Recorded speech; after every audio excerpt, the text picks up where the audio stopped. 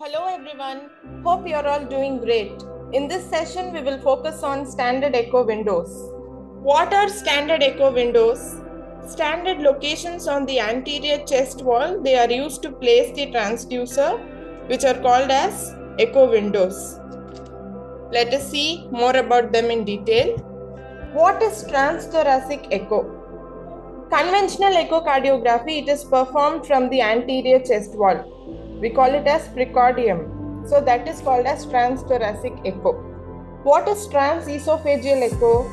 Echocardiography can also be performed from the esophagus. That is called transesophageal echo. They are of five types left parasternal, apical, subcostal, right parasternal, and suprasternal. Standard windows they are used for two important reasons. First one is the penetration of ultrasound waves from the windows. It is very good without much masking of image or absorption of ultrasound by the ribs or lungs. The second one is standard echo images. They can be compared with studies which are performed by different observers or on different occasions by the same observer. Transthoracic echo may be technically difficult to perform in the following situations that is, severe morbid obesity, chest wall deformity, and pulmonary emphysema. Coming to the parasternal long axis view. This is the right ventricle, left ventricle, aorta, aortic valves, left atrium, and the mitral valve. Coming to the transducer position, left sternal edge that is second to fourth intercostal space. Marker dot position, it points towards the right shoulder. What are the structures seen here? Proximal aorta, aortic valve, left atrium, mitral valve, left ventricle, interventricular septum, posterior wall, right ventricle, pericardium. Right atrium is not seen in this. Now coming to the parasternal short axis levels. They are five. Pulmonary artery, aortic valve, mitral valve, papillary muscle and left ventricle. Let us see about each of them. So for all these levels, the left sternal edge and the second to fourth intercostal space would be the transducer position. Marker dot, it points towards the left shoulder. That is 90 degree clockwise from the parasternal long axis view. By tilting the transducer on an axis between the left hip and right shoulder, short axis cuts are obtained at different levels from the aorta to the left ventricular apex.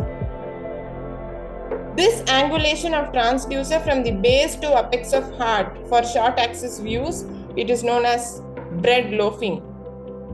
By this loafing only, we get all these five views. That is the pulmonary artery level aortic valve level mitral valve level papillary muscle and the left ventricle. Coming to the first one that is pulmonary artery level right ventricular outflow tract aortic valves that is the three cusp non coronary left coronary and the right coronary cusp pulmonary valve and the pulmonary artery pulmonary artery, pulmonary valve, and right ventricular outflow tract. Coming to the aortic valve level, what we can see tricuspid valve, mainly the left atrium, aortic valve and their cusp, right ventricular outflow tract, pulmonary artery. Just take a look at the structures seen. Going to the mitral valve level, interventricular septum, anterior mitral leaflet and posterior mitral leaflet. Here the mitral valve orifice will be seen as a fish mouth. You can see the structure. If the fish is opening its mouth, how it will be? Same like that. You can assume like that. Structures. Coming to the papillary muscle level, that is the posteromedial left ventricle and the anterolateral. Structures. seen. Interventricular septum can be seen here. And for apical views, the subject turns back rightwards from the left lateral position and he lies more supine. Coming to the apical four chamber view. Here we can see the right ventricle, tricuspid valve, right atrium, left ventricle, mitral valve and left atrium. Transducer position, it is the apex of the heart and the marker dot position, it points towards the left shoulder. What are the structures seen? Just take a look at that. Coming to the apical five chamber view, this view is obtained after apical four chamber view, that is by slightly tilting the transducer downward. The fifth chamber is the left ventricular outflow tract.